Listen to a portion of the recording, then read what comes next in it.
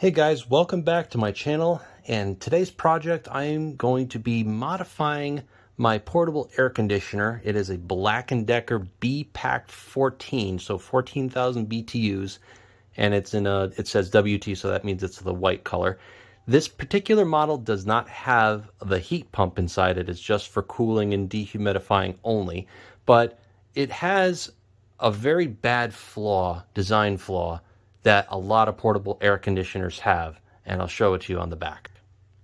For reference, here is the model and serial information. This was manufactured in January of 2020, and I purchased it right before the summer of 2020. And here we are in August of 2022. There have been some refinements to this model, and I think the only one that I can find on, from the one on Amazon where I got it was that they add a drain port here. This vent is the intake for the room air cooling, and then the cold air comes out. Then we have where the main design flaw is, is that we have one exhaust vent here, and then we have the intake for the condenser coils, which are located right here. Now, without going into the technical operation of how an air conditioning works, essentially air conditionings move heat from one place to another. What we have here is the condenser coils. The condenser coils get hot and what it's doing, it's drawing in the air here to cool off the pump and also the condenser coils, and it's blowing the hot air outside of your room. Then you have the evaporator coils, which get cold, and it draws the air in from the room and spits it out even colder out the front. The biggest problem that these portable air conditioners have, especially if they only have one vent like this, is because this intake here for the condenser coils, it's stealing cold air that it's already working hard up here to cool off your room in order to cool off the condenser. If you have a dual vent, what'll happen is that you're taking outside air to cool off the condenser coils and it's blowing that hot air out and you're recirculating the air here in your room to cool off the temperature. So as you can imagine, the efficiency of this unit is not very good when you have a single vent like this. This is a very popular unit on Amazon. I think over like 30,000 reviews on it, and it works well. There's really nothing wrong with it, but I want to make it better, and for a few bucks, we're going to do that. We're going to add a vent adapter to this intake here and use the window adapter parts that I have with a couple additional ones and convert this to a dual vent unit that will significantly increase the efficiency and cool off your room faster without creating a negative pressure vacuum in your room. All right, the curiosity got the best of me. I decided to take this apart to really see how this is configured. And it's a little bit of work to get to this. I wouldn't recommend it. But the good thing I can tell you is that the evaporator coil right here is sealed off from the condenser with the exception that the drain for the condensate is not up here they moved it down here so there is a drain that's going right on top of the condenser which is essentially evaporating all the moisture out and blowing it out the exhaust vent which that was done by design so this is good news with it being isolated with the exception of the drain I'm not going to worry too much about that because that's very little efficiency lost in terms of air escaping from the condenser side going up into the evaporator side and vice versa. The good thing is, is that it's sealed off here, sealed off all around here, and we're good to go. The only thing I'm going to do is to try and clean up these fins a little bit. There's a little bit of dust, and we'll put it back together and continue on with this modification. All right, guys, we got the fins all cleaned up. Best way to do that, I would recommend using a painter's brush or a small brush like this one. You don't want to hurt the fins by going this way. The fins go up and down this way. I don't know how well you can see it, but that's how you clean it up. And that should do it for the cleanup here. Now let's get to working on this piece here. Here's a quick update. So I got a couple parts. I got a kit that included this hose, this coupler adapter. This is going to be an intake. And I got this, it came with a couple panels, this panel and a few of these if you wanted to hook it up to a larger window. My windows are to, I think, 31 or 32 inches wide, which is standard. What I did was on here, I took some closed cell foam pa panels here that I had left over from the basement project, and I just framed it out so that the there's a, a smaller vent on the back here and then the larger vent for the intake is on the side. I basically just framed it out and then covered it up and sealed it off with aluminum tape. So this is actually quite sturdy. And I use this six inch flange adapter, which I will put in the description, both this and also the kit for that I got for the window adapter. In retrospect, I should have gotten a kit that had two openings because unfortunately these panels don't have, it only has the opening for the hose that it came with. This is the original for the air conditioning unit with that. And I'm going to now have to take this adapter hole and cut it into one of these panels, which I started to do. I'm going to have to get my jigsaw and cut that out. But that is going to be the best way to have one window adapter panel for both hoses.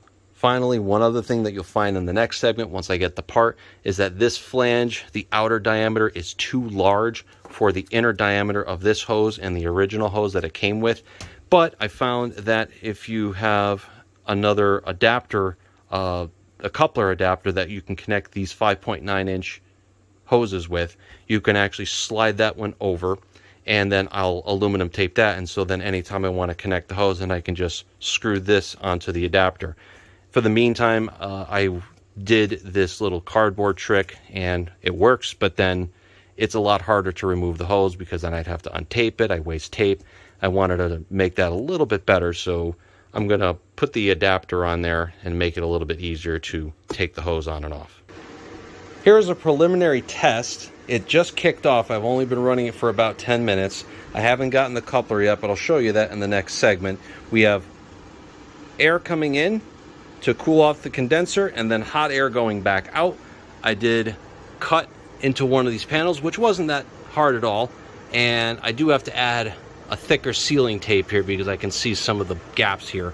But the good thing is that only 10 minutes running and it was about 78 to begin with. And it's already down to 75 degrees and 55% humidity, which I had it set to 75. So that tells me that the thermostat is working properly. It's noticeably quieter with this in place.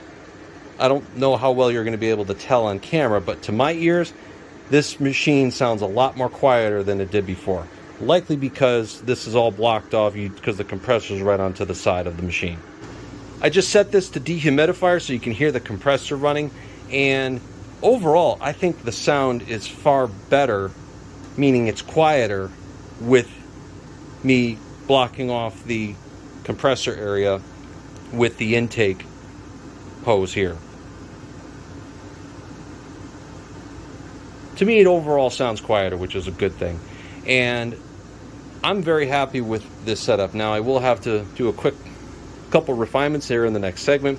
I will mention that the hose here on the exhaust does get hot, and being that it's a plastic hose, it will radiate that heat back into your room if you really wanted to go crazy and wrap this hose in some sort of insulation like a heavy blanket so that it doesn't radiate heat back into your room, you could do that.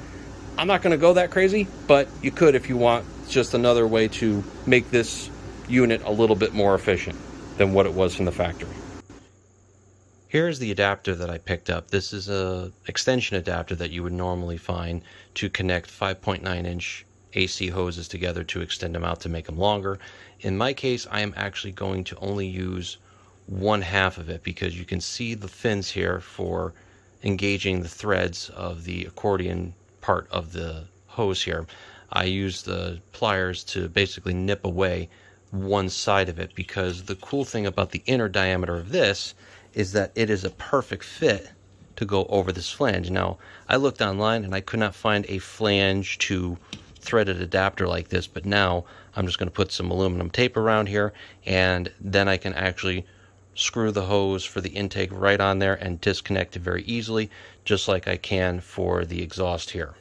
And here's the final setup here. We have the coupler adapter. I just aluminum taped around the flange adapter, and now I can attach and detach the intake hose very easily, and I could do the same thing with the exhaust hose like I always have, and that's it. It looks a little homebrewed, and it is, but for a few bucks, I was able to convert this unit that was a single vent into a dual vent pretty easily. So my final thoughts on this little project here is that Black & Decker really screwed themselves.